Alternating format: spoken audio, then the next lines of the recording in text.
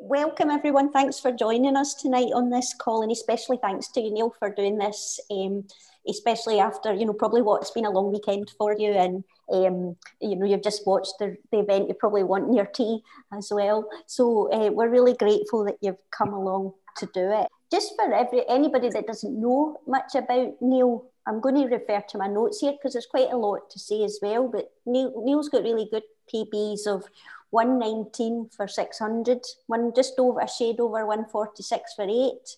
You've got a PB this year indoors of 335, which is just a few hundredths off the Scottish record. And a PB in, indoors always bodes well because it's probably worth a couple of seconds over 1500, two to four seconds, hopefully.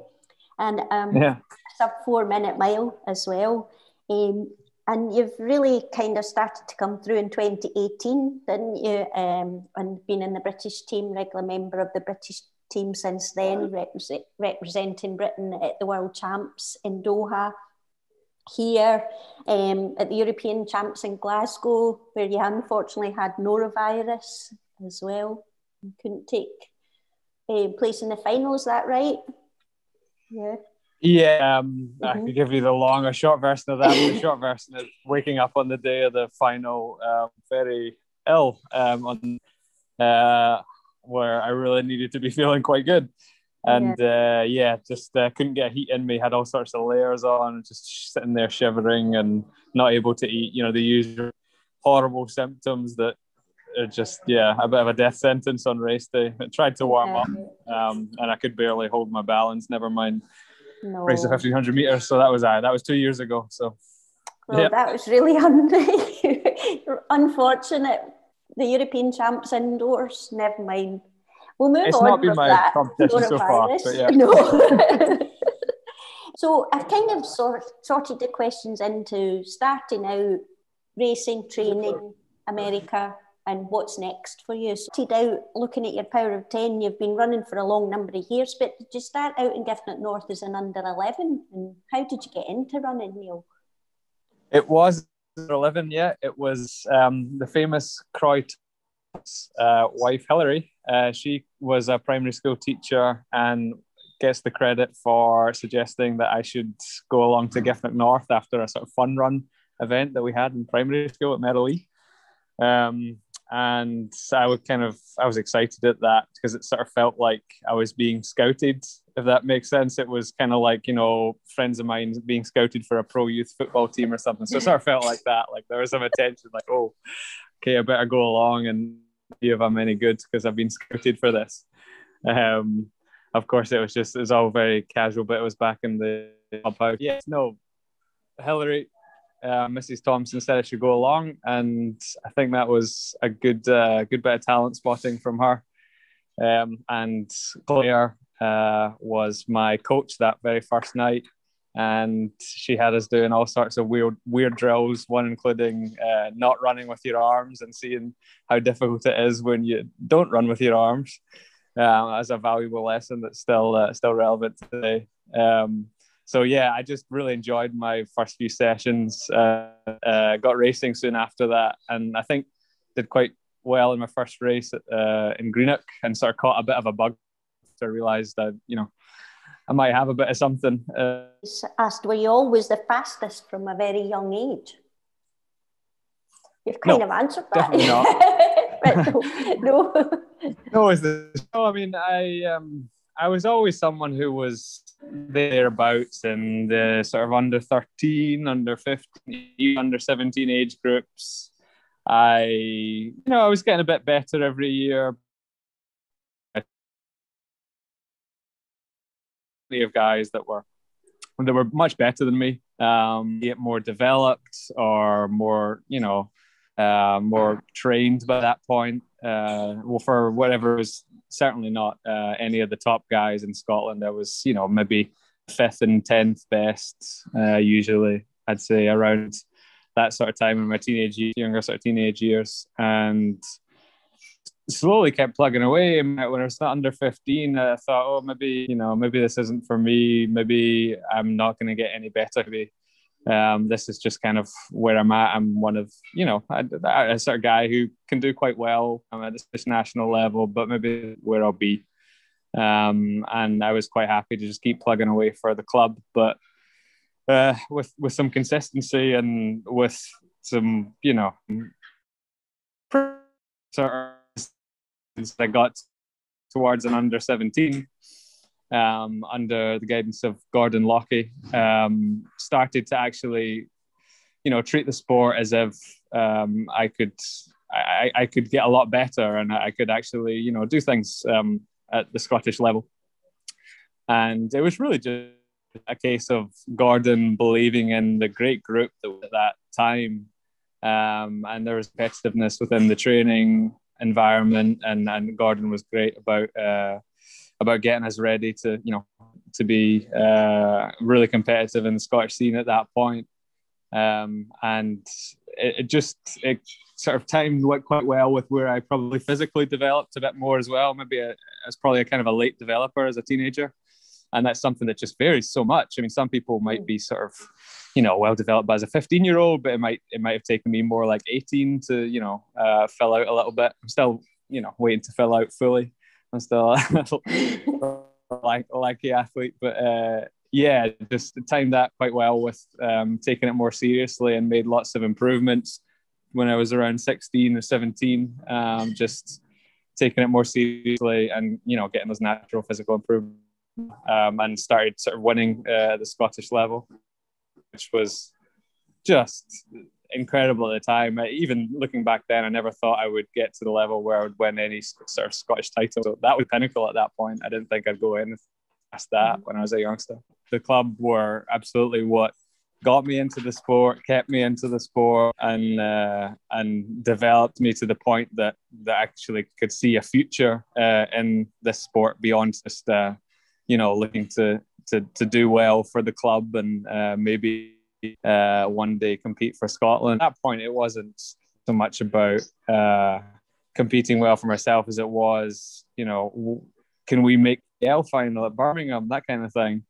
Um, and these kind of issues are actually garner your your real love for the sport and uh, the sort of team aspects never leave you that that is stuff uh, that I miss even now at the sort of um, more international level it's all quite individualistic but um, the, the team relays, the team uh, competitions at the likes of Birmingham, these these youth uh, finals were just uh, you know experiences that made me love this. From the gun, this place will go nuts if Lewis can hang on. Here comes Gourley at the wire, and it's Gourley of Virginia Tech. What was your decision? What was behind your decision to go to um, America? And and Ruben would like to know what in particular drove the decision to go to Virginia Tech. So uh, around 17, I was starting to look at the American college system mainly because of Chris O'Hare, to be honest. I saw what he was doing in NCAA. He was a bit of a pioneer for a lot of the middle distance athletes that went over recently. Um, there's been such a surge you know, in Scottish and indeed British athletes going over to the US. And I looked at the NCAA as an opportunity where, you know, I wasn't good enough to be funded by UK athletics or anything like that. I didn't have the levels of support um, that, that the most talented youngsters um, my age would have. So I thought, well, what, I mean, what a great stepping stone it could be, and a platform where I could all, you know, get my degree done, and I could, um, you know, be in an environment where sport is so like it is. It's just um, you're really able to pursue um, without kind of sacrificing one or the other. I found a coach that um, that I agreed with and got on well with, and a program out there that uh, I could see myself doing well. And Virginia Tech, to answer Ruben's question, weren't exactly on my radar at first. The, the, the way I went about it um, was to contact about, I think I had a list of about universities that probably that could fit um, for you know being a good good fit for engineering and also you know a good program with a good tradition uh, on the track. And sent out emails to these sort of 30 i mean some of them got back to me some of them didn't. That's just how it goes. Some of them were interested. Um, and it was actually it was a conversation with a work colleague i had when i was um, i was working for Scottish Power. And it was a colleague at work who'd said, "Oh, have you heard about Virginia Tech? Um, we've heard good things about that." And not just from an engineering point of view. He, he'd known people that had gone over there on exchanges from Strathclyde. And I said, "Oh no, I haven't, but I'll check it out." And I wasn't really expecting much because I assumed they wouldn't have much to the sport. To be honest, it would be a kind of technical school by the sounds of Virginia Tech um, and it would be very kind of academic focused. Course, I looked into it and I looked at the times of their athletes coming into college and leaving college. I'm like, wow, this coach does a brilliant job of developing people. Um, I think I've come across them that not a lot of other people have. And so got in touch and uh, they were very quick back to me, very forthcoming in what um, what they were all about. And I got on very well with the coach quite quickly, who who shared a lot of the same sort of belief with me as as uh, as how to get better, how to uh, how to improve, and he was a a very serious but um, a very knowledgeable guy. You could tell right away, uh, and yeah, just the conversations we had really felt like I could see myself doing well there, and just the record that their team had of producing, you know, great athletes by the time they left. You wouldn't really think so uh, when they went into college. So that was what really drove it, um, and ended up, yeah, Virginia Tech ended up winning out in my uh, sort of success, even though they weren't on my radar before. And so I'd certainly, uh, as a point of advice, be absolutely open to to all avenues and and out uh, if you're looking at college in the US. Moved to the US, there it's quite a collegiate atmosphere as well. So there was still quite the college aspect, like the team aspect, and it's quite mm-hmm. defined goals around um, the sort of different seasons, isn't it? Cross country and track. Um, but now that you've left um, that collegiate as- aspect, um, one of our questioners, Michael Cross, you'd like to know how do you set your goals for yourself and what happens if you don't achieve them? Generally at the start of every year or season i'll sit down with my coach and figure what figure out what we want to do with the you know the upcoming years it's, it's never something that i would do to absolutely fixate on one particular time or particular um, one particular growth point year on year. More the case of we want to be here in five years certainly coming into virginia. I mean my my goal was yeah to be at the level where I could make a, a, a team, um, be at the table where I could represent me. Um, by the time I, I left, um, and to do that, Coach Thomas, uh, that's still my coach to this day, Ben, um, he was very accommodating in the fact that he knew I had aspirations outside of just the, the team itself. And he was really supportive of went home um, and competed. And he would prepare me. It's not as if these things can be uh, done without the other. Obviously, team success was just as important. So he was determined uh, that you know the goals would be we win a conference championship, or we, you know individually we win a conference championship, or we make it to the national final. Um, and just being at that level will will mean that uh, things will take care of themselves when I go, you know, uh, sort of individual aspiration, uh, be it like an under 23 qualification uh, for, for Team GB, which um, I, I, did a couple of times while at Virginia Tech, these sort of things. He was more than supportive of uh, me having these goals as well. So it, it's important to, to talk about that with a potential coach and, and the NC about how uh, supportive they would be about what you want to do outside of just competing for the team. What's Ben's um, sort of coaching philosophy, Neil, in a way? What sort of, what, I mean, like, what would a typical week look like for you? And, and um, I think people would be interested in how you train. It's certainly, it's up over the years. I mean, he was quite patient with me where I think in terms of mileage, I would maybe run 30 miles a week or something like that. Uh, when I was was still uh, you know living in Glasgow before I came out to the US, and we've, in terms of that, we've slowly built it sort of year on year um, to the point where, in terms of volume, maybe we do about 80 miles a week in, in the winter and, uh, you know, a bit, a little bit less as we approach championships. But in terms of a typical week, um, he, he's quite big on quality Um, we we we work quite hard, quite a few more often.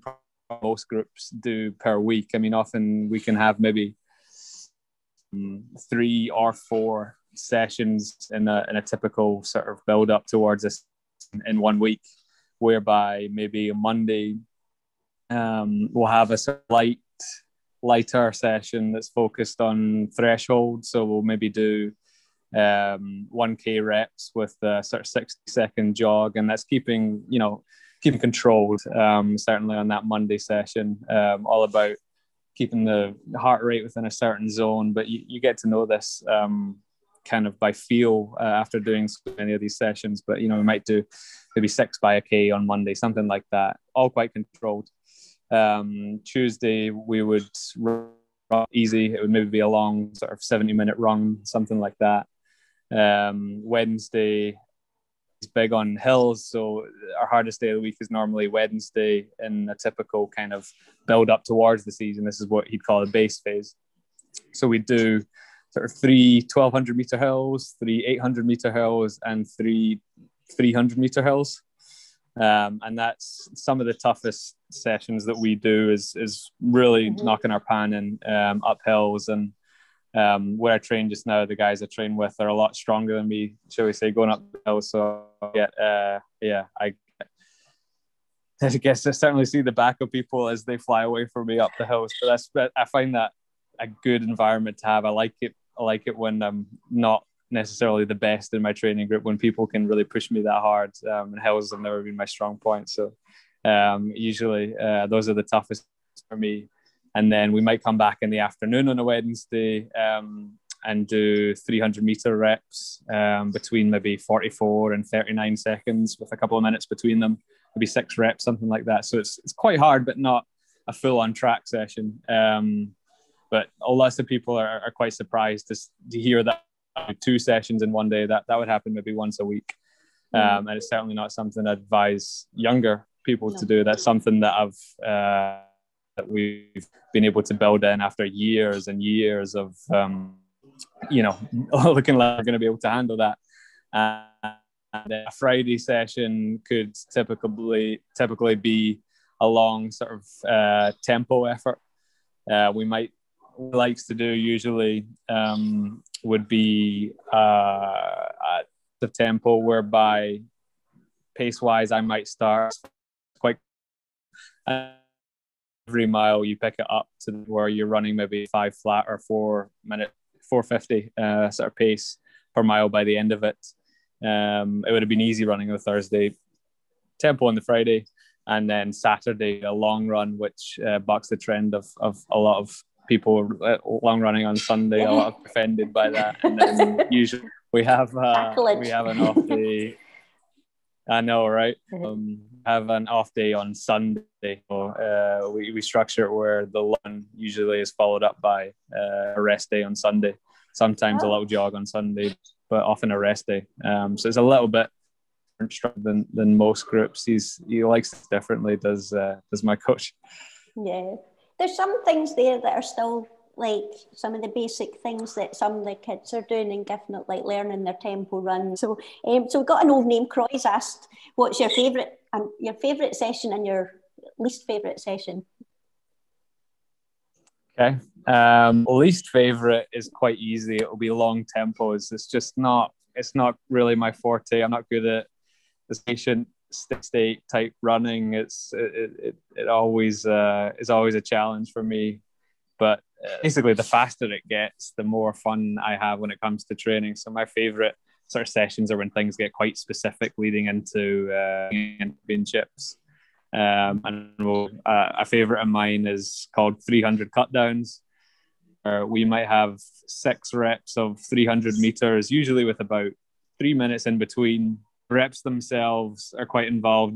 It's not just a case of trying to hit a time for the rep you're supposed to cut down during the rep. So what he'll often have us do is run the first 14 seconds, the next 100 at 13 seconds, and then at 12 seconds.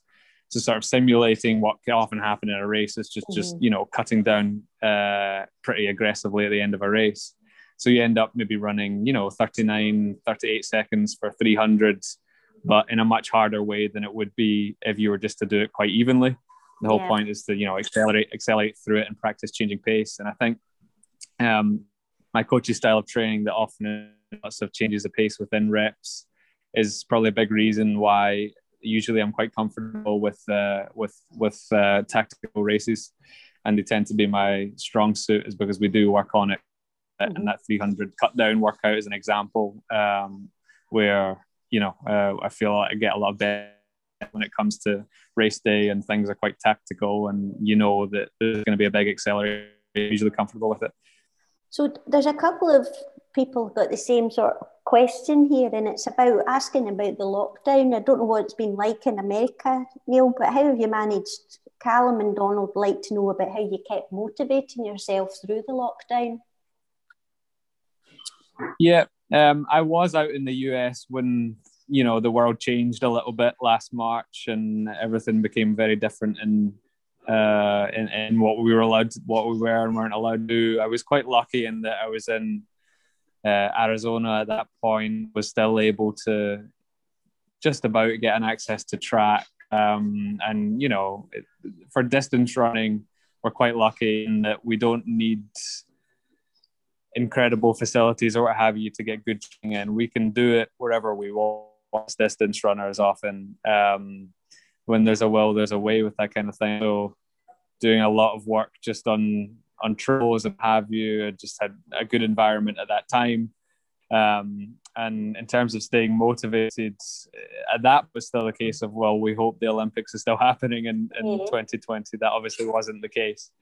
Um, but in terms of staying motivated, I was just eager to to train hard because of the fact that I've got, you know, another year I could make up ground on people that are better than me at the moment. There's no other way to put it. Um, you know, coming off the final in Doha 2019, it was clear that I needed to get a lot stronger if I was ever going to live with people the likes of Tim Cheruiyot, um, who'd taken the race out so fast.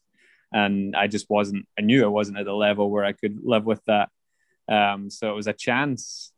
I focus and look at it as a chance where I can get stronger. I can work on the the stuff that I don't like so much in training. I could put emphasis on uh, all the longer reps and the tempos and the hills, um, all the really the tough parts that maybe aren't my strength, but are the stuff they're going to need to get better if I'm ever going to um, be competitive uh, in terms of getting global medals.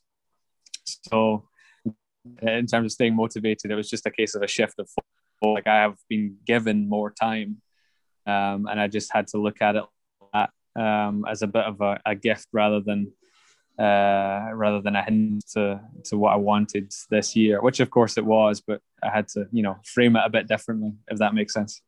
No, that does. I've got quite a few questions about racing, so if we could maybe move on to that. Um, I think people want probably to draw on your experience of racing, Neil. Um, so Jack's asked, what's your before race day and um, race day routine. Um, and Pauline's also interested about any pre- favourite pre race food. So, what, what's her kind of routine? I think. I'm not too superstitious, so not everything has to be perfect before a race. Uh, but generally, um, you know, you, you're wanting to get a good meal the night before. I mean, it doesn't have to be. Uh, my there's no perfect pre-race meal. If you haven't been eating right for the past three, then it doesn't matter tonight. I wouldn't say that, but he would say there is no perfect pre-race meal. Just you know, eat well as you normally would. There's there's no way you're gonna make up or lose ground uh, as long as you're eating a decent meal the night before. If would be something like um, breast, uh, you know, vegetables, mashed potatoes, that kind of thing. Just a, a mix of things. Getting good protein, carbs, and fats, and um, is, important every day. Um, so just as, as it is the day before race. Um, the day of the race, typically I'll get up, eat some breakfast, which could be, you know, usually it will be porridge um, with some peanut butter, some nuts, maybe some fruit, just for some some good fats, um, some nut butter, and then maybe toast and eggs as well. Um, and after that, I like to go out for a sort of 15 minute jog um, and do four or five strides on the morning of the race. Some people like to do strides the day before. I completely understand. My coach likes to do strides to sort of wake up the body on the day of the race. Yeah. Metabolism really going. Um, so that would typically be sort of right after breakfast, which I don't mind doing on a sort of full stomach. I don't like that, but it, you just got to find out what works for you. Um, so typically that might be seven or eight hours before I race. And then I will have a decent lunch. It would just be something simple that doesn't need to be too complicated, like I don't know, turkey, avocado type sandwich, um, anything that you know agrees with you well. And you just kind of got to figure out by trial and error. There's no real way um, about how many hours you're sort of eating before you're racing. Yeah. Um, and that's something I got wrong so much, kids, uh, as a sort of youngster. And you just kind of figure it out as you go along. And eventually, if you keep, you know, keep tinkering with it, I'm sure you you tend to find something that works for you in terms of when you like to eat, um, how you like to feel in terms of your stomach before a race. Uh, and maybe three hours before a race, I'll have like a two or three hours before a race, I'll have maybe like a protein bar um, just to keep me going, but it's still quite light. Um, my lunch might be five hours before a race. Um, and really, uh, on race day, it's the case of switching off what you're going to do tonight. You don't need to be sitting there nervous. Um, say it's an, an evening race. You don't need to be sitting there nervous all day because it's just gonna it's gonna waste energy and you're gonna tense up and it's not um, it's not useful at all. So generally, you want to switch off a little bit from what you're going to do tonight because there'll be plenty of time before you warm up to really lock in and focus. Yeah. Um, you want to stay off your feet as much as you can, but not sit in one position the whole the whole day. Get up and walk around. You know, do really would. Don't change things wildly just because it's race day. Just just be natural um, on the day so that your your body's not all tense and locked up uh, generally gives the best for I'm too focused all day and hyper sort of aware of yeah. what I'm doing at all times, then sometimes it's just, it's just not the way the way forward. It's better to be more relaxed and um, just take just take things a bit more naturally. Well, that, that was our my next question was going to be how do you handle your nerves on the day? Pauline uh, mentioned that you know do you get nervous and how do you deal with it? Um, I actually probably get less nervous now than I used to when I was competing when I was younger, when I was sort of under 13, under 15. I wouldn't be that controlling my nerves, and every race seemed like the most important thing of all time. Um, and at the time, I mean, it was, it was, it was, it was, it was so important. Every race was as the last, and it was, you know, uh, which was great, but it's not necessarily the best way to approach a race, you, know, if, your nerves are out of control, then maybe you're not going to get the most out of yourself. So these days, experience has helped a lot. Having raced a lot, um, that's obviously helped quell nerves. But more than that, you just got to look at your nerves as a tool rather than an actual um, hindrance to you because they can allow you to do things that you never be able to when you're training and you're not nervous that that's clear in so many uh, aspects of the sport. There are things you can do when you're nervous that just allow you to have an extra gear. You've got to look at it. Um, you know, a lot of people would say extra privilege, which it absolutely is. If you really care that much and you're really, um, you're you're you're feeling a little nervous about a race that's coming up. That's good. Just use it. Yeah. It's, it's going to get a little more out of you if if positive about it. If you this was what really makes me feel alive is if i'm uh, you know feeling a bit nervous before a race then great. That, that's how you have to look at it. You just have to reframe it a little bit rather than oh i'm nervous. I don't want to be here. Yeah. It's, it's more like oh i'm nervous. That means that i really care about this. That means i really want to do well here. Uh, and that's how I would use it basically. It, it makes me feel quite alive when I've got the sort of butterflies in the stomach. It makes me realize uh, that I'm doing the sport for the right reasons. And all the pros get it. You could see Jakob Ingebrigtsen yawning on the line the other night, and that's a sign of adrenaline. So it's not like it's that you know that all all the seniors get nervous as well, and they do like to mm. harness that as well. Um, Holly's Holly's asked about what's your tactics for running fifteen hundred meters. It was quite a broad question, but probably running fitness. yeah, how long have you got? Um, I'll it'll, it'll, always it'll always depend. Yeah, I need to write a book about that one day. Um, it'll always depend on what the field you're racing against is for me. Um, often, you know, if it's a kind of time trial race, maybe there's a pacemaker, then it becomes a bit more simple. Usually, what I like to do is get on the rail, get on the inside of the lane and just try and relax as much as possible in a good position in the race, not to make too many moves. There are lots of people that spend a lot of energy trying to all be in the right place throughout a whole 15 meter race. Whereas you only really need to be in the right place once, and it's you know, towards the end of the race. So if you can your energy um, through a 100 meter race, particularly um, particularly when it's a, a sort of time well, you know, fast paced race, and wait um, until you're really ready to to kick hard, finish strongly. Um, that's how I tend to approach it. Mm-hmm. If it's likely for championships or tactical style race, then it's going to be a case of um, positioning yourself at the right. Um, it's, it's all about timing at, at a high level 1500 meter race, whereby you know you can be in the right position but it's maybe too early or you're you know you're running in lane two or three for quite a lot of the race and uh, by the time you actually go to kick hard at the end you've actually spent too much energy just by, by being on the outside being on the fringes mm. rather than someone who's maybe sat at the very front very back and has actually just conserved energy running lane one and not too many hasty moves not making too many rash decisions.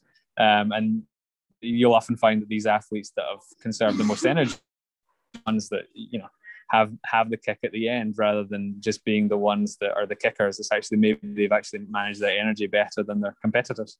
Yeah. So that was a real good question there holly. Um, jacob's wondering how you keep motivated during a race during a race. I mean, it's no, it's a, definitely a valid question. It's hard. If there's on the line for me, then it's never a problem being motivated during a race. But um, I, I know what you mean. Like certainly when I was younger, you, when it starts to thinking, why am I doing this? Yeah, like, that's probably a lot. He's meaning. Yeah, no, I, it's it's no, it's a great question. This hurts a lot. Why am I doing this? And what I usually do in those moments think about um, those that are wanting me to do well, you can, you know, you can. There are other things to focus on, but this is what works for me: is focus on the people that I know we at home, be watching in the stands, be um, willing me to do well.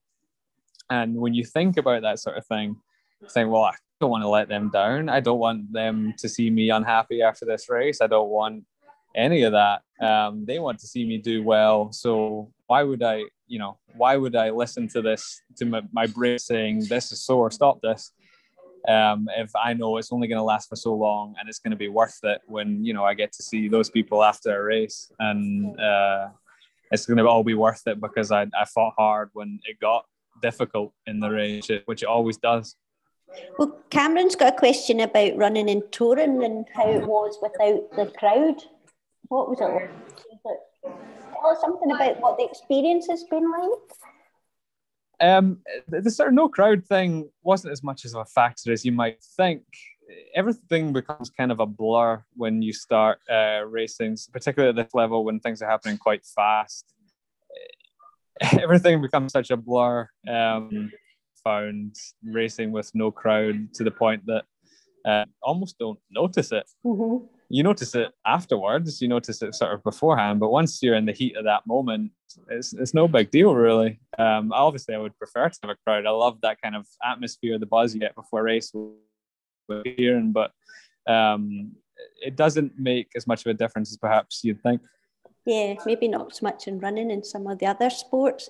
And we're, we're getting yeah. to, to, the end, Neil, because um, you probably want to get your tea and stuff. But um, last time we, we did um, the question and answer back in 2019, I remember a couple of things that you said um, that really struck me and kept with me that sleep's the best recovery agent that there is. Um, and that was really important, I think, for young athletes to hear.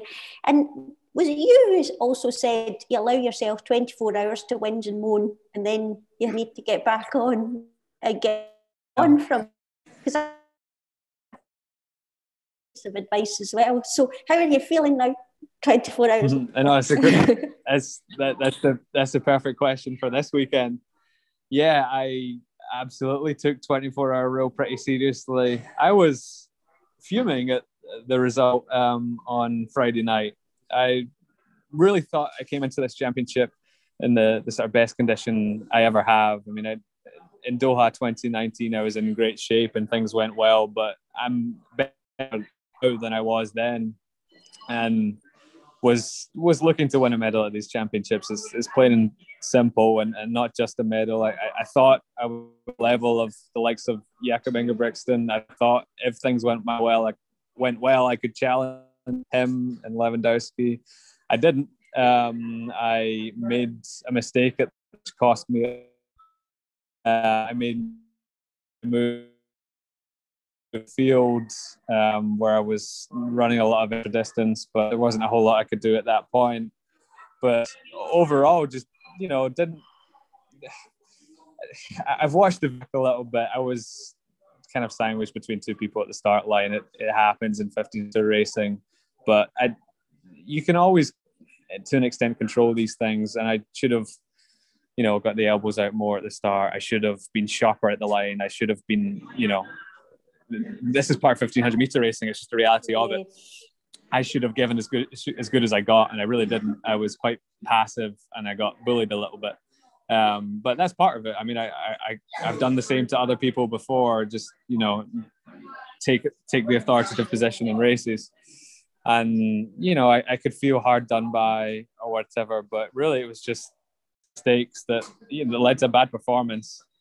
Um, you know, I, I did win it a little bit for 24 hours because I'm thinking, you know, really again another sort of European championship. I've just come in here with such high hopes and, and, and left so disappointed. But there are thankfully much bigger things coming this summer, and uh, well on it for the next week or so. I don't have time for that. Mm-hmm. Um, I have to prepare what's going to be a tough Olympic team to make in 1500 meters this year. And if I have too long thinking about the mistakes I made this weekend, then um, I just setting myself on the back foot for what's going to be really important preparation for the summer. Um, hopefully, I, I, can forget about one this weekend if, if, if things go go to plan, um, and I can take confidence in the fact that I felt probably better than I've ever felt anywhere ever in that heat. Um, and the final didn't reflect uh, how I felt, and I'm still in that physical condition. Um, just a case of of getting it right um, going forward. I don't think I've ever gotten it. You know, 26 years of age. I don't think I've ever got it so wrong uh, in a one particular race as I did on Friday night. But that's just the harsh reality of indoor 1500 meter racing, particularly when there's as many as uh, on a tight track. It, it, was big fields, wasn't it, as well? Yeah, yeah. Typically, it's only ten in an yeah. indoor final, so I don't know why they were letting in so many people. I'm not and uh, understood that, but it, it is what it is. I mean, I, I was signed up for that. That was what it was, and everybody had the same uh, playing field. I just came out worse off. I mean, I'm sure you're in that shape. It's it was it was a mistake, and you've just got to move on from mistakes, haven't you? Yeah. Yeah. No choice but on and refocus. To maybe sort of finish off in a more positive view, there was quite a few questions in from Carolyn, Alex, Rob, and Patricia around. Really, there were themes where what would what would be the advice you would give to young athletes? What would you pass on to them? Um, maybe the best piece of advice you've been given as well in your own career and also what advice you would pass on to young folk? Yeah i mean in terms of better at the sport it's, it's often that actually the hours around training that make the most difference um, to success. What what happens in training is important in the sessions themselves. You've got to apply yourself there and come with a good attitude, and you know be ready to to work hard in training. But the hours around it, when you're not at the track, are actually when you improve. You don't improve during a training session. You actually make yourself worse, and then your body adapts to what you've just done to it. Your body says, "Oh, I didn't like that. Maybe I'm going to need to be ready for. Um, I'm going to be need to be ready to do that again." And your body adapts the stimulus that you provide it. So the number one thing, as you brought up earlier, is sleep. Um, is, is the number one thing that can increase your performance without, uh, you know, crossing, uh, crossing illegal lines. It's the number one performance answer, as I always say. So basically, you want to be getting eight and 10 hours of sleep a night. That's a great start um, in terms of recovery. You want to be eating well. You want to be getting in good vegetables. Um, and in terms of macronutrients, protein, carbohydrates, and good fats um, have got to be in your diet. That'll allow your body to process training better. Um, you know, having a recovery drink ready after our recovery bar, or whatever, after training is important. The your body are processing the training you've just done. Um, I'm a big believer in the hours outside of training. Um, making good decisions are really what set apart the better from uh, the athletes that the, the, the, athletes that don't seem to see improvement. Um, so uh, the biggest is, is um, the hours outside your training just as just as uh, just as a high level of priority as the hours you're actually showing um, to your training sessions. Yeah, I think we as coaches do try to emphasise that quite a lot, and it's it's important to get yourself kind of organised and make sure you're getting enough to eat and enough to you know, yep. enough sleeping. Do you eat quite a lot then, Neil? Uh, come back home, food bill skyrockets, as they always like to remind me. So yeah, I, I eat, I eat plenty. That's for sure. Um, it just you need to yeah. when you're when you're asking so much of your body, basically. Um, so. Uh, you, you, often, you know, when I was younger, you just can't eat enough. To be honest, I was, was filling an empty, uh, filling a sort of bucket with it. Um, but the energy demands of this sport are so high that uh, yeah, crucial that you eat enough. Ronnie's interested in knowing. This is a, my last question. We've, hopefully, we've covered everybody's question. What's next, Neil? What's your next target? What are you doing now? Um, in terms of training, I'm going to go back to uh, my, my training set up in Eugene, Oregon with a coach. Um, I haven't seen him since the beginning of January, so it'll be good to get back in the training group that's that's running really well right now. It'd be good to get in with with my usual crew, um, but it's it's all going to be in preparation for uh, was you know a huge year, a huge Olympic year. So my goal um, is to perform as as well in the Olympics. Um, that obviously but but my goal isn't just to you know be on that that to Tokyo um, I want to be competitive in the the Olympic final, uh, place as high as I can in, in that Olympic final. There are obviously a huge amount of intermediate steps to doing that, but um, I'll need to tick boxes along the way. The biggest making that Olympic team that is the farthest thing from a foregone conclusion with how strong the 1500 meter running is in the UK. So, um, yeah, that, that's the goal this year, and everything else is is pretty peripheral. Yeah. So you're going back to America quite soon. Yeah, yeah, in the next couple of weeks um, to get back to training setup. So that'll be that'll be good. As much as uh, I do find training in, in Glasgow, it'll be nice to have sort of some company um, and yeah. maybe some better weather. Who knows? I've been to Eugene, and it's it's it's a it's a, it's a nice place to train. A lot warmer anyway. Yeah, yeah, certainly in the summer, a whole lot warmer. Yeah, for sure. Well, it, well, Neil, I think you've given everybody a lot of excitement this weekend. We were all excited beforehand and also watching it, and you might feel like you didn't perform the way that you should, but we're all still really proud um, that you've been a member of the club and done so well uh, to get to the European Championships. Kate didn't go the way in one race. It's one race, you can put it behind you and move on. But I think you're inspiring a lot of the young kids all the time with just the way that you conduct yourself. And well, first, thank you, Lynne, because I get so much support from from everyone at Giffnock. So thanks for um, thanks for all the messages and support this weekend. I really do and it means a lot. So thank you very much. And, and all the best for your return journey, etc. And uh, back in America, and we'll hear from you soon, no doubt. Thanks very much, Lynne. Thanks, you. Thank you.